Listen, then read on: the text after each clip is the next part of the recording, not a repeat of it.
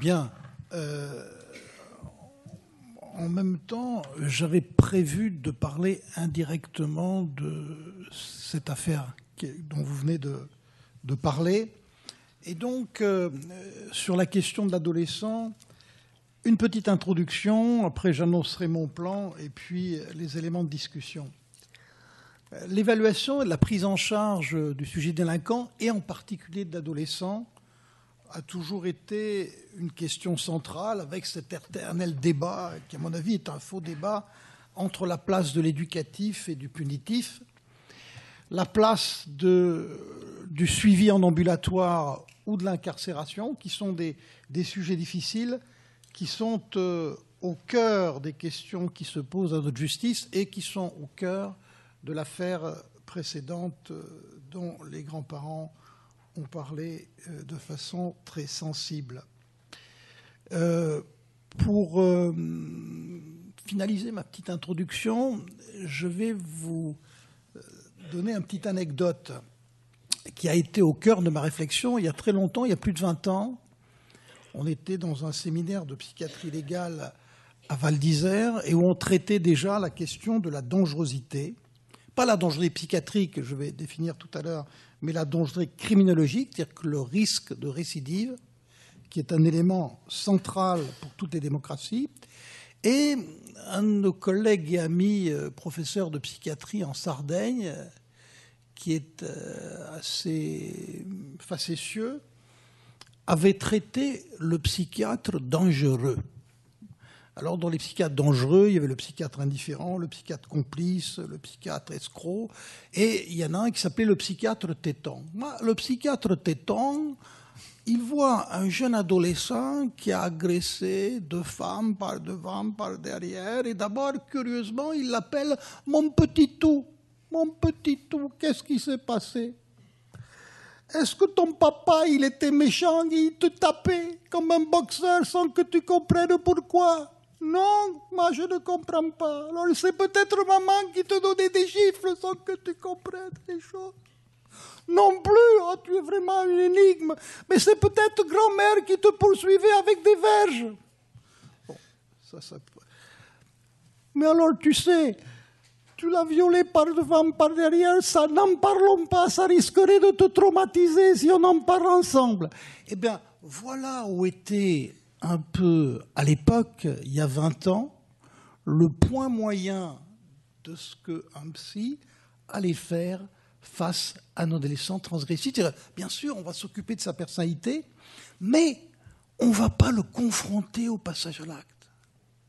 Or, je vais essayer de montrer dans mon exposé que euh, le mode opératoire, le premier acte transgressif, les premiers éléments de comportement sont des signes d'alerte avec la difficile question d'évaluer un petit peu la dangerosité. Alors, maintenant, avec cette petite anecdote très euh, parlant à brosser euh, le débat, essayons de raisonner ensemble. Premier élément, il y a dans mon métier deux actes intellectuels différents. Le premier, c'est l'évaluation. Évaluer quelqu'un, cet adolescent qui a transgressé, euh, et puis, le deuxième acte, c'est la prise en charge. Bien sûr, on va d'autant mieux prendre en charge un adolescent qui a une clarté de ce premier acte intellectuel qui est l'évaluation. En ce qui me concerne, pour améliorer notre dispositif de travail, j'ai proposé ce que j'appelle un trident, et en même temps, je vais vous expliquer pourquoi, euh, je vais essayer de le dire professionnellement et humainement, pourquoi, dans tous les pays du monde, la danger criminologique est quelque chose de pertinent, mais pourquoi c'est une patate chaude? Dit autrement, c'est pas si facile que ça d'évaluer qui va récidiver après un premier acte transgressif qui défraie la chronique. Le trident, c'est ça. Un, on oublie l'acte et on se dit qui est cet adolescent? Quelle est sa personnalité? Là, le psy, qu'il soit psychiatre ou psychologue, il travaille avec les outils qu'il a, pris à la faculté. Hein. Et au fond, regardez, simplifions les choses. Je vais le dire encore plus simplement, un peu plus loin. Mais les adolescents qui transgressent, est-ce qu'ils sont normaux? Ben non, pas totalement. Est-ce qu'ils sont fous au sens psychiatrique? Est-ce qu'ils ont des maladies mentales? Rarement. Il y en a, mais c'est l'exception. Est-ce qu'ils sont banalement névrotiques, au sens où un grand psychiatre avait dit nous sommes tous des névrotiques en parlant des êtres humains. Non plus. Qu'est-ce qui reste? Ben, Ils ont des troubles de la personnalité avec des mots, mais qui ne sont pas assez parlants que, effectivement, les uns et les autres, les professionnels de cette salle, voient dans les expertises, les psychopathes, les caractères paranoïaques, les problématiques perverses, bon, ce fameux pervers narcissique qui fait tant fureur, un petit peu, euh, qui s'est trop développé, les borderline, mais vous voyez, c'est des mots qui ne nous aident pas à euh, travailler au corps un petit peu euh, ce qui va se passer dans la thérapie. Donc, on évalue d'abord une personne et les adolescents transgressifs, ils ont des troubles de la personnalité. Au sens populaire, c'est des troubles du caractère. On va affiner. C'est l'axe 1. Mais, axe 2, et c'est toute ma pratique euh, depuis l'âge de 30 ans, où je fais des expertises et où j'ai créé un certain nombre d'institutions pour aussi prendre en charge euh, ces sujets, et notamment les adolescents. L'acte nous apprend du sujet quelque chose que l'analyse de la personnalité ne nous apprend pas. Et regardez, je reviens à l'axe 1 et je vais représenter le psychisme humain par une sphère. Si de façon très puissante, j'éclaire une sphère avec un regard aigu d'un bon professionnel, qu'est-ce que j'éclaire? Trois quarts de la sphère? Et dans les expertises, on dit beaucoup de l'homme qui a été vu. Mais on ne nous dit pas tout on ne voit pas tout. On ne peut pas voir tout. Pourquoi? Parce que euh, parfois, les aspects les plus problématiques, les aspects les plus tordus, les aspects les plus bizarres d'un être humain, c'est dans les méandres du secret de son imaginaire. Est-ce qu'il va nous le raconter?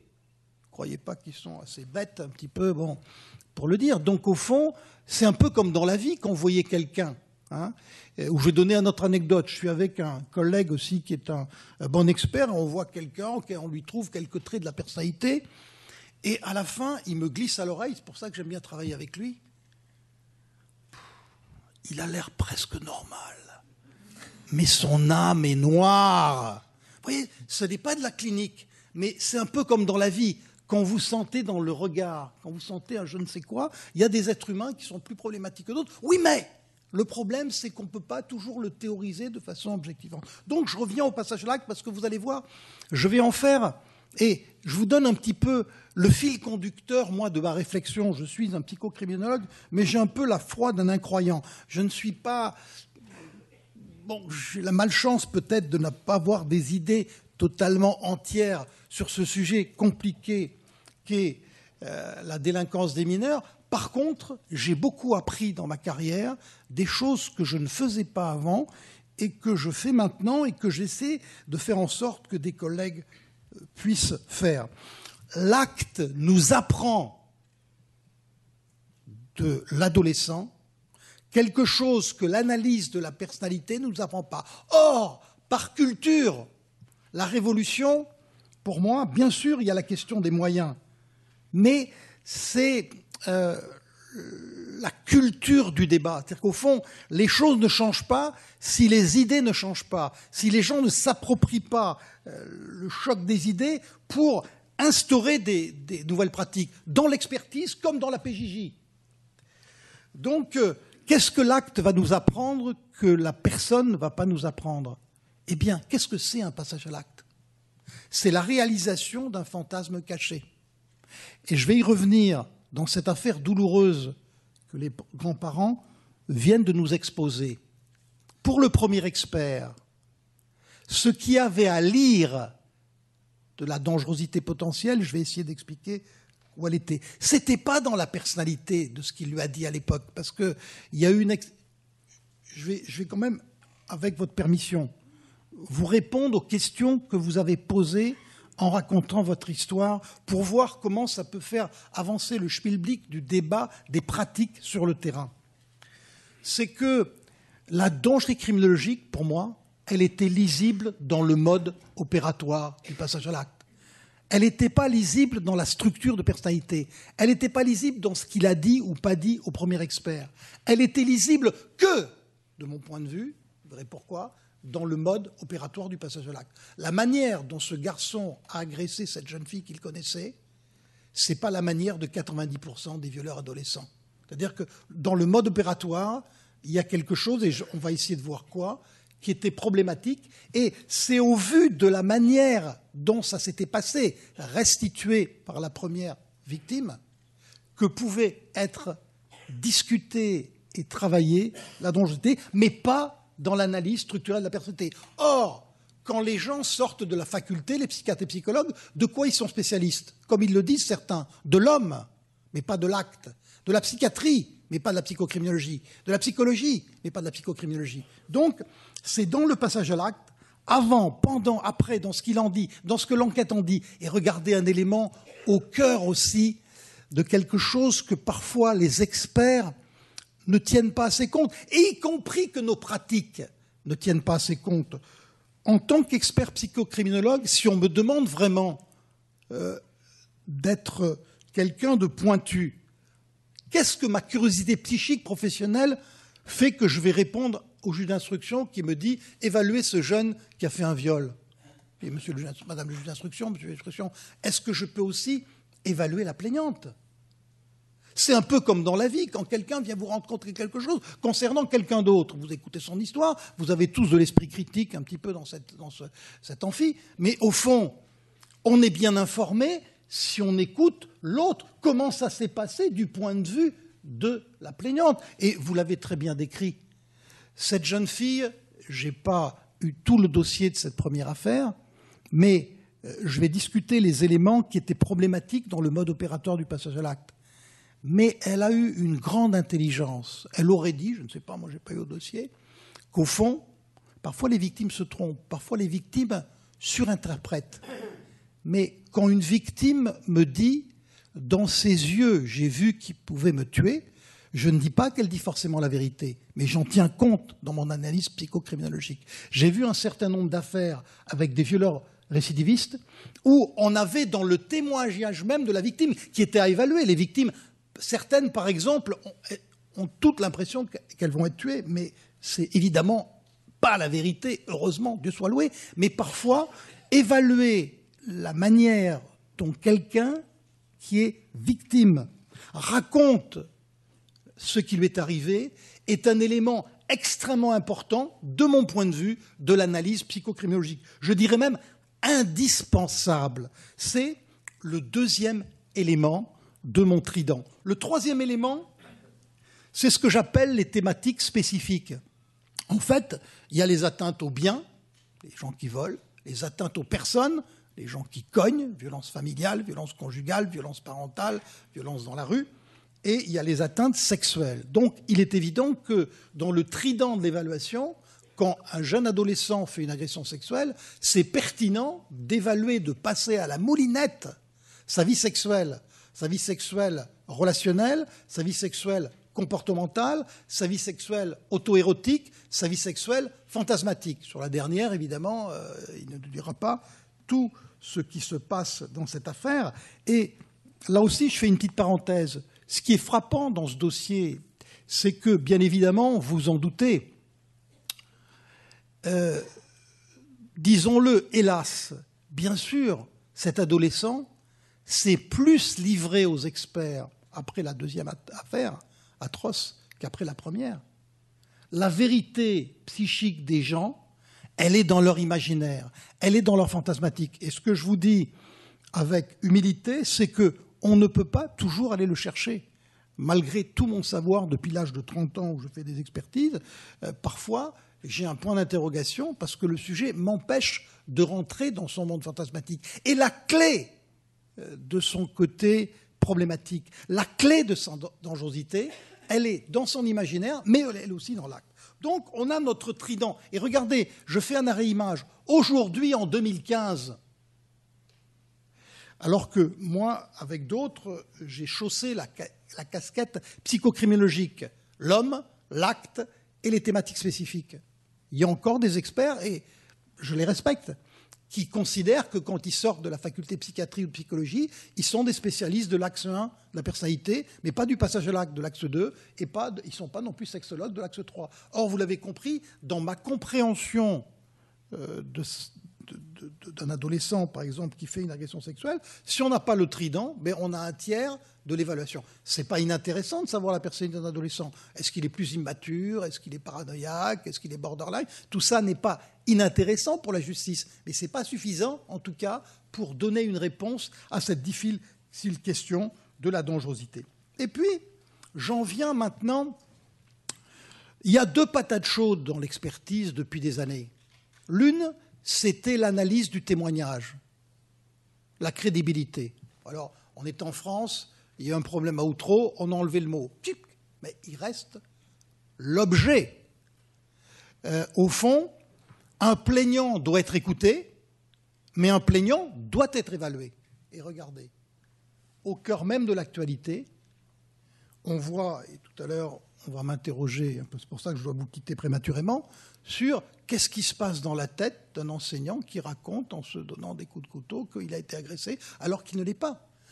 Écoutons les plaignants, mais il est professionnel de passer au crible un petit peu euh, le discours et aussi, pour ceux que ça intéresse, on fera euh, donc euh, début de mars 2016, présidé par le défenseur des droits, un colloque aussi sur la parole de l'enfant. Il faut écouter les enfants. Mais ils ne disent pas toujours la vérité. Il faut écouter ceux qui se disent victimes. Donc, la première patate chaude, c'est l'évaluation du témoignage. Et la deuxième, c'est la dangerosité criminologique. Or, la dangerosité criminologique, je vais vous expliquer pourquoi c'est compliqué. D'abord, au mieux, même avec les éléments que je vais amener au débat, au mieux, c'est probabiliste. Il restera au juge dire que quelqu'un a une forte probabilité récidive. Voilà, ça nous aurait intéressé. Peut-être on les laissé en prison. C'est pas bon, mais on ne peut pas dire quelqu'un qui a une forte probabilité va forcément passer à l'acte. De même que quelqu'un qui a une faible probabilité, si tant même que les évaluateurs professionnels, les experts se mouillent pour le dire, quelqu'un a une faible probabilité de récidive, mais effectivement, il peut quand même récidiver. Donc déjà, intellectuellement, c'est un concept probabiliste, mais ça nous donne quand même des euh, moyens de trancher ce qu'on doit faire. Regardez, je vais être au cœur de ce qui a été dit précédemment. Ça peut choquer certaines personnes dans la salle, mais en tant qu'accompagnateur de la justice depuis 30 ans, je constate que nombre d'adolescents qui ont fait un viol sont en liberté. Ont, on les élevé en peine euh, un mois, deux mois, enfin ils n'ont aucun antécédent, donc c'est le. Euh, bon, on peut le regretter, c'est pas propre à la France. Donc au fond, voyez bien, c'est que sur 100 adolescents qui ont fait une agression sexuelle, comment je peux savoir ce ou lequel il est pertinent de faire la thérapie en milieu fermé, en prison? C'est pas si facile. Ensuite, on est en France. Je le dis un peu de façon un peu provocatrice. On a tous les grands intellectuels du monde, tous les beaux esprits. Est-ce que dire que quelqu'un est dangereux criminologiquement ne serait-ce pas le stigmatiser? Va des rétros, Satanas. Donc surtout, ne disons rien. Vous voyez, le principe de précaution, c'est bien, mais le principe de précaution, etc., c'est aussi se couper les mains et peut-être euh, avoir un peuple qui s'agite. Bon. Donc, euh, euh, c'est vrai que la danger criminologique peut être un concept dangereux. Si je dis quelqu'un est dangereux, que peut penser quelqu'un un peu, pardonnez-moi l'expression, même si vous êtes entier, je ne vous en voudrais pas, un peu frontal? Laissons-le en prison et on sera peinard. Oui, mais bon, il sortira un jour s'il a tué personne. Donc, euh, évidemment, il y a un risque. Euh, la, question ne peut pas être exclue. Euh, évaluer la dangerosité criminologique, c'est aussi prendre le risque pour une société de la stigmatisation. Et donc, qu'est-ce qui nous reste? Eh bien, moi, je suis un professionnel. Je vous ai dit, la foi d'un incroyant. Qu'est-ce que je peux faire? Et là, je vais aborder un sujet dont je vais essayer de vous donner, pour le débat, ma manière de penser et de décoder utilisable par tous. Parfois, la dangerosité de quelqu'un, elle est lisible dans sa personnalité. Regardez, je vais faire juste une marche arrière. Tout à l'heure, j'ai parlé de quelques mots un peu barbares, des troubles de la personnalité, des psychopathes, pervers, caractère paranoïaque, borderline. Maintenant, je vais le dire de façon plus simple. Il y a trois types de profils que j'ai essayé de décoder après un passage à l'acte. Tous les gens qui font des passages à l'acte, ils ont un côté immature, un côté égocentré. Mais regardez, j'ai défini trois profils. Il y en a qui sont plus immatures qu'égocentrés. En général, la thérapie enclenche ça facilement. Il y en a aussi immatures qu'égocentrés. S'il n'y a pas d'obligation de soins, ils n'iront jamais se faire soigner. Et on les met en groupe parce que seul le schmilblick n'avance pas, les parents rament. Euh, voyez, euh, Et il y a un troisième groupe.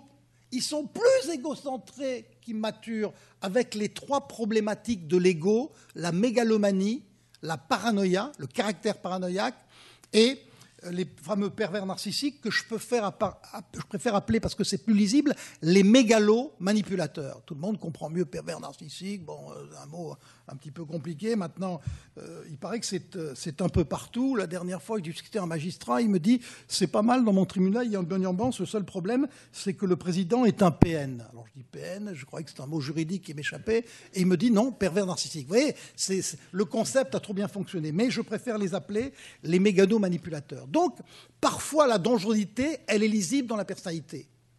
Parfois, elle est lisible que dans le passage à l'acte. Et j'y viens. Eh bien, c'est le fameux débat en France qu'on a un peu avorté, mais le problème, c'est comment l'utiliser, les échelles actuarielles. Mais qu'est-ce que c'est que ces outils des anglo-saxons? Donc, au fond, je vais essayer de montrer comment, de façon vivante, elles ont modifié ma manière de travailler dans l'expertise, mais dans la deuxième partie de ma carrière, après 95, alors que j'avais commencé en 1980. Eh bien, les échelles actuarielles, ce n'est pas un truc euh, mystérieux qu'il faut utiliser de façon mécanique, mais il faut en voir l'esprit. Or, regardez, elles sont bâties sur quoi je vais vous le dire très simplement.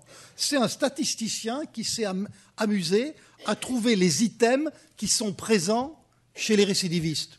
C'est aussi bête que ça. Et donc, ça peut nous faire réfléchir. Je vais en donner quelques-uns. Il y en a un qui, par exemple, est une évidence. Quand quelqu'un a été condamné deux fois pour viol, il a plus de chances de faire un troisième viol que la cohorte des 100 qui n'en ont fait qu'un. Ben oui, mais bon, euh, euh, peut-être euh, c'est la palisse ou bien ce proverbe que vous connaissez tous, errare humanum est, sed perseverare diabolicum. Ben oui, ben, c'est pas tellement étonnant que la criminologie le vérifie. Mais après, il y a d'autres éléments plus intéressants. Par exemple, agresser une victime qu'on ne connaît pas est un facteur de risque. Et oui, parmi les violeurs d'inconnus, il y a plus de gens qui vont récidiver que parmi ceux qui. Pourquoi? C'est assez bête d'agresser quelqu'un qui vous connaît. Si un jour elle parle, vous êtes cuit. Donc, ce n'est pas une grande stratégie. Tandis que si quelqu'un agresse une victime inconnue, en plus il met un masque, il met des gants, euh, il a. Voyez, donc, la manière dont est opéré, dont est stratégiquement organiser un passage à l'acte signe la dangerosité. Et puis, deux éléments que je vais mettre à notre débat également, et en même temps en montrant violer avec une arme, les gens qui violent avec une arme sont statistiquement plus dangereux que les gens qui violent sans arme. Pourquoi? Ben, Il y a beaucoup de professionnels dans cette salle. Il y a 90% et même plus d'auteurs d'agressions sexuelles, mineurs ou qui violent sans arme. Donc celui qui en plus utilise une arme, et regardez, j'essaie de convaincre par exemple mes collègues de ne pas être pour ou contre les échelles actuarielles, mais d'essayer de, réfléchir sur les items qu'ils contiennent. C'est ça qui va nous intéresser, qui exhibe à tous. Regardez, qu'est-ce que a de plus quelqu'un qui viole avec une arme? Alors, regardez même dans le monde des psys.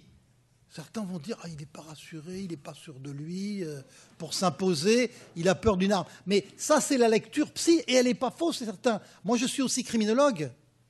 Regardez par exemple, si je vous menace d'une arme et je dis donnez-moi vite votre carte euh, grise et son numéro, et je lui mets le couteau près de, euh, du cou, ben, moi à votre place, j'aurais peur. Vous non? C'est-à-dire que criminologiquement, quelqu'un qui utilise une arme contre vous, il ne vous donne pas le choix. C'est stratégiquement plus agressif, plus violent. Il faut être même psychiquement plus problématique pour... Vous voyez ce que je veux dire? On donne aucune chance à l'autre. Hein. Donc, un autre élément, la séquestration. La plupart des viols ont lieu sans séquestration. Donc, les violeurs qui séquestrent, faut s'intéresser à eux, même quand c'est la première fois. Les violeurs qui attachent, la, plupart des viols n'attachent pas leurs victimes. Donc vous voyez comment les statisticiens donnent aux professionnels des éléments pour réfléchir sur des sujets qui ont plus quelque chose de problématique. Et donc, pour revenir à cette affaire douloureuse, et vous l'avez exposé avec votre cœur et votre âme même, je dirais, la dangerosité, elle était lisible dans le mode opératoire qu'a utilisé ce garçon dans la première affaire, et non dans la personnalité en elle-même que peut-être avait évalué à sa manière le premier expert, à qui il n'avait pas en plus livré son imaginaire. Et donc, vous voyez que ma solution à cette patate chaude française, c'est pas pour ou contre les échelles, mais tenir compte de ces items pour avoir les éléments de dangerosité dans une personnalité, ça c'est le, travail des psys, pur sucre si j'ose dire, et puis les éléments à risque dans effectivement le mode opératoire, dans la manière d'exécuter le passage à l'acte, et ça c'est une lecture purement criminologique qui à la limite peut ne pas être fait par des experts psy, qui sont des spécialistes de la personne. Ça peut être fait, regardez, est-ce qu'il a utilisé une arme ou pas? Ben, Il n'y a pas besoin de l'interroger. Est-ce qu'il a utilisé un ficelage ou pas? Est-ce qu'il a séquestré ou pas? Est-ce qu'il a des, antécédents ou pas? Est-ce qu'il a. C'est une victime qu'il ne connaissait pas avant? Vous voyez que les éléments qui sont. que j'utilise avec mon équipe en thérapie comme des feu jaune clignotant. Attention, celui-là, même si notre évaluation est relativement banale, il y a des facteurs de risque dans le mode opératoire du passage à l'acte. Donc, c'est extrêmement utile. Et regardez, évidemment, si je l'applique, je m'excuse de le faire trop tard, bien sûr, à l'histoire que vous avez racontée, ce jeune, dans ce qu'il a dit à l'expert, n'avait peut-être pas des choses extraordinaires. Il était en première, il travaillait pas, oh, il était un peu bizarroïde, bon, enfin, comme des dizaines, des centaines, des milliers d'adolescents. Mais dans son mode opératoire, il y avait quelque chose à risque qui fait que, aujourd'hui, en ayant ces deux éléments, la bonne pratique, c'est plutôt de dire traitons-le en prison avant de le libérer. Essayons de voir qu'est-ce que ça veut dire, pourquoi tu as usé une arme? Pourquoi tu l'as ficelé? Et elle m'a dit dans les yeux qu'elle a pensé que euh, tu aurais pu la tuer. Vous voyez, vous l'avez très bien dit, cette jeune fille a eu une présence d'esprit, j'ai entendu parler du dossier par plusieurs collègues, euh, mais elle a une présence d'esprit de faire croire, qu'ils sont un peu cons, heureusement, au sujet, je vais revenir. Hein. Et donc, euh, j'ai vu deux, trois histoires comme ça de violeurs qui ont récidivé, ce qui m'a intéressé dans mon analyse de psychocriminologue, c'est que la plaignante avait vu dès la première affaire que dans les yeux, il était capable de tout, et une plaignante intelligente qui avait utilisé une ruse. Par exemple, dans une autre affaire, elle lui dit Je vais te donner rendez-vous, regarde, je vais te donner mon portable. Le type s'est dit Le gros ballot, ah bon, euh, elle ne le prend pas si mal que ça, c'est peut-être pas un viol, etc. Bon, évidemment, elle n'est pas, pas arrivée au rendez-vous. Vous voyez, elle a pensé en lui donnant mon portable qu'elle a déminé l'imaginaire de la tuer. Et ce sujet, il a récidivé dans une autre affaire, parce que là aussi, cet élément de discours de la plaignante n'a pas été intégré par la société ni par les professionnels, alors que, évidemment, c'est toujours plus facile après coup. Donc, trois types de profils, et regardez en même temps, je mets en contrepoint les éléments de thérapie. Ceux qui sont plus immatures qu'égocentrés, ils sont faciles à prendre en charge, et c'est vrai que dans les majorités d'adolescents violents, on voit aussi, il y a beaucoup des professeurs dans cette salle, des gens qui arrêtent les frais. Parce qu'ils sont intimidables criminologiquement, parce que le poids du regard social, parce que le poids des parents qui respectent encore, qui leur mettent la pression après le premier passage, fait qu'ils arrêtent les frais au fur et à mesure. Ceux qui sont aussi immatures qu'égocentrés, là c'est un équilibre, je dirais, très instable. Et qu'est-ce que je dis souvent dans ces deuxièmes tripes de groupe? Ça dépend de l'ambiance. S'ils sont repris en charge dans un environnement totalement structurant, ils peuvent arrêter la dérive. Si par contre, ils restent comme ça sans évoluer, nous on les met évidemment dans des groupes où on les secoue un peu, pardonnez-moi, comme la bouteille d'orangina, parce que c'est là aussi dans les thérapies qu'il y a une révolution culturelle regardez, je vais vous le dire euh, avec là aussi quelque chose d'imagé qui a été au cœur de ma pratique. Je suis jeune, j'ai 30 ans, je suis analyste, un peu une analyse personnelle. J'allonge sur mon divan des gens qui sont banalement névrotiques, qui n'ont pas fait de mal à une mouche. Et regardez, je tends l'oreille, mon oreille gauche. Dès la première séance, ce garçon qui s'allonge sur mon divan dit Hier, j'ai un peu gueulé, j'ai crié contre ma femme, j'ai cru même que j'allais lui taper dessus. Après, on ne s'est plus rien dit. Euh, j'ai pleuré, mais elle ne l'a pas su. Ce matin, on ne s'est plus parlé. Maintenant, je me demande ce qu'elle pense et comment je pourrais reparler de ça. Vous voyez, dès la première séance, quelqu'un qui est banalement normonévrotique, il pense à l'autre, il réfléchit sur l'autre. Et regardez maintenant, je tends mon oreille droite, et là, je commence, près de la quarantaine, à proposer une des premières consultations spécialisées pour les sujets d'obligation de soins. Je tends mon oreille je n'entends pas le sujet parler d'autrui. C'est la vie de Bibi, les fantasmes de Bibi, le zizi de Bibi, le désir de Bibi, la méchante juge qui a été attribuée à Bibi, ce que j'appelle le bibicentrisme. Et quand je lui dis Et l'autre? Regardez la réponse. Ben, je sais pas. Je suis pas dans sa tête. Hein. Elle m'a rien dit. Je n'ai pas demandé. Voyez la pauvreté de penser l'altérité, le manque d'empathie aussi, mais là, de façon très concrète, ces sujets qui sont nos enfants, qui sont les enfants de l'école, vous avez vu comme ils sont peu humains? Je ne jette la pierre à personne, moi je ne sais pas mon sujet, mais comment dans nos cultures soi-disant démocratiques, avec des familles, avec une école républicaine, on peut avoir des adolescents qui ont une telle incapacité à penser l'altérité Ça nous nous pose une question, peut-être parce que notre éducation est trop anonyme, peut-être parce qu'il faut faire des zooms, mais voyez un peu à quel point ça frappe. Et puis, il y a ceux qui sont plus égocentrés qu'immatures. Et je vous le dis librement, avec cela, même avec une équipe hyper spécialisée comme la mienne, je ne sais pas si je vais, et j'emploie une image un petit peu comme celle du dentiste,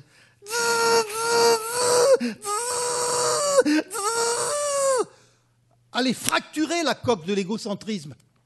Parce que les mégalos, les paranos, euh, les mégalomanipulateurs, euh, évidemment, euh, avant qu'ils comprennent que leur intérêt, c'est de venir dans un monde plus humain, où il faut tenir compte de l'autre, prendre la vie de l'autre, arrêter de faire la, faire se frustrer de son propre souhait si l'autre n'est pas d'accord, ben, ça prend du temps.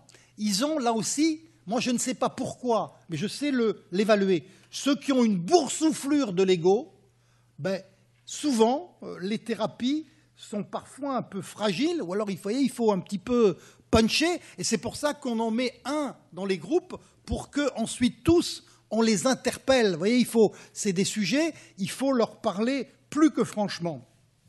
Cette prise en charge, elle se fait essentiellement en groupe, avec des bons résultats, avec les immatures, des assez bons résultats avec les immatures égocentrés, avec des résultats aléatoires pour ceux qui sont les plus égocentrés, c'est dans l'ordre des choses.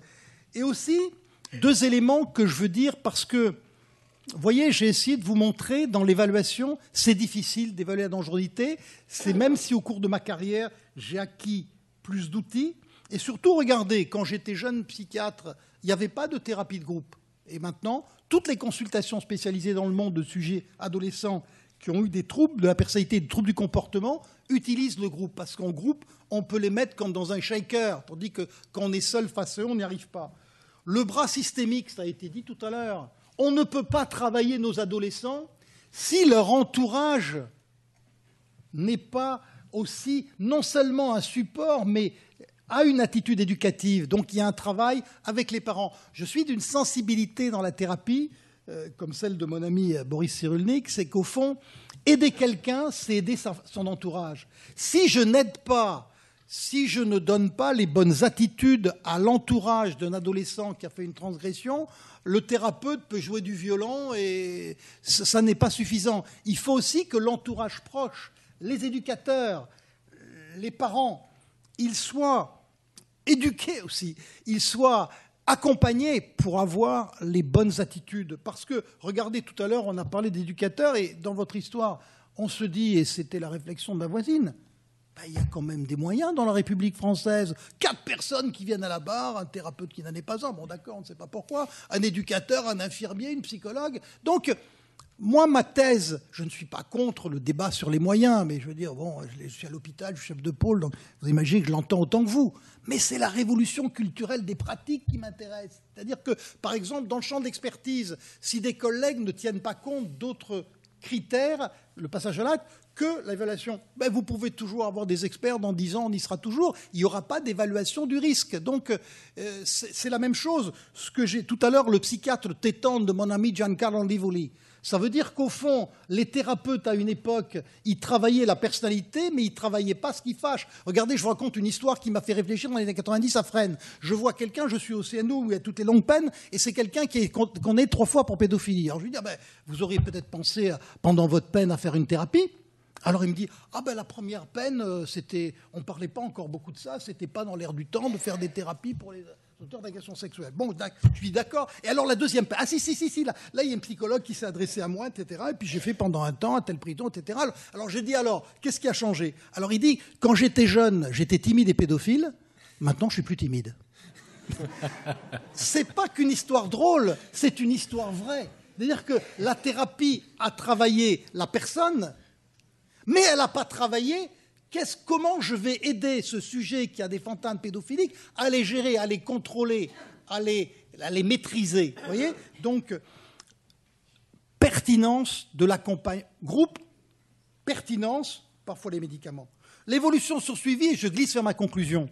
Au fond, dans tout ce qu'on sait aujourd'hui, ceux d'entre nous qui s'intéressent le plus à la psychocriminologie, est-ce que les thérapies, regardez un élément qui est du bon sens, il y a des parents dans cette salle comme moi, au fond, plus on prend le sujet tôt, mieux on a des chances d'infléchir la trajectoire. C'est du bon sens. Donc au fond, qu'est-ce que ces prises en charge de sujets qui sont des troubles de la personnalité nous apportent?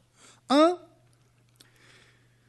ils reconnaissent quelque chose qui est problématique en eux. C'est le premier niveau. Au fond, ils sont, ils deviennent capables de nommer les choses qui ne vont pas en eux, qui expliquent qu'ils ont fait ce premier ou ces premiers passages à l'acte. Deuxième élément, ils sont capables d'analyser des situations à risque. Par exemple, bon, ben, si quelqu'un en, période d'alcoolisé euh, est un petit peu trop chaud avec une femme, il comprend que soit il doit moins boire, soit quand il boit, il ne faut pas qu'il reste seul avec euh, une femme. Ce qui est d'ailleurs un discours pour les futurs plaignants. Ne restez pas seul avec un adolescent dont vous n'êtes pas sûr du pédigré. C'est-à-dire qu'en criminologie, les situations à risque, être seul avec quelqu'un, c'est un des facteurs de risque. C'est vrai dans le couple, c'est vrai pour les familles, les parents qui sont violents sur les enfants, c'est vrai un peu dans le, des dérapages, pardonnez-moi, euh, dans la sexualité. Donc au fond, ils reconnaissent plus les situations où ils pourraient déraper. Et ce n'est pas inutile pour eux. Troisième élément, là, c'est le vrai travail sur soi. Ben, effectivement, ils apprennent à mieux prendre en compte l'autre. Tout à l'heure, vous avez vu le déficit que je constate en tant que professionnel dans des adolescents de notre culture qui n'ont apparemment pas été assez travaillés au corps par l'éducation, ni par leurs parents, ni par leur famille, ni par l'école, et qui sont des, égocentriques ambulants. C'est comme les sauvageons de, de Chevènement. oui, bon, donc effectivement, euh, là, le sujet, il faut qu'on lui apprenne à percuter l'autre, voir l'autre, tenir compte de l'autre. Bon, et puis c'est les éléments qu'on peut, on peut le dire en langage thérapeutique comme en langage éducatif. Apprendre le respect, apprendre de prendre la vie de l'autre, tenir compte de l'autre, apprendre le compromis. Il faut qu'ils analysent aussi qu'ils ont tendance à être un peu égo-centrés. Hein. C'est-à-dire qu'au fond, être lucide sur soi-même, c'est de voir qu'on pense trop à soi. C'est voir aussi que de temps en temps, ils sont tentés. Alors regardez évidemment les psys, vous avez vu, le, là aussi c'est un mot qui a fait fureur, l'emprise. Mais dit de façon plus simple par un criminologue, quels sont les quatre moyens sur lesquels je peux abuser de quelqu'un? Je le cogne, il fait ce que je veux. Je le menace, je te pète la gueule, je te tue. Tu je le harcèle ou je le manipule. Donc vous voyez, là il y a aussi dans la criminologie une description plus réaliste du mode opératoire de la manière dont on abuse de l'autre. Eh bien, on apprend à nommer un chat un chat. Il y a beaucoup de manipulateurs qui n'aiment pas qu'on dise vous l'avez manipulé. Ils disent Ah, ben je l'ai séduite. Non, vous l'avez manipulé. Donc, reconnaître qu'on a une tendance à l'abus avec un mode opératoire concret comme les quatre que je vais nommer, ça fait partie de, l'apprentissage. Et puis, le dernier élément quand ils évoluent encore bien, c'est leur apprendre à vivre les choses autrement. Vous voyez, par exemple, j'ai envie, donc je suis alcoolisé, elle est là, ah bon, je, vais tenter ma chance. C'est-à-dire qu'au fond, de respecter le nom, de savoir se frustrer, d'apprendre d'autres comportements, c'est le quatrième axe de la prise en charge thérapeutique. Je termine sur ma conclusion en posant plusieurs questions pour laisser le débat ouvert.